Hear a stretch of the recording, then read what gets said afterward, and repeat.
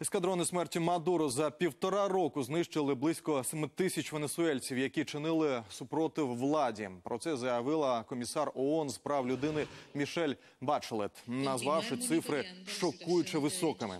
ООН закликала венесуельську владу припинити порушення політичних, громадянських та соціально-економічних прав країні. За оцінками ООН, 4 мільйони венесуельців покинули країну внаслідок погіршення економічної ситуації. Два роки тому Венесуела оголосила дефолт та спалахом переслідувань за політичні переконання.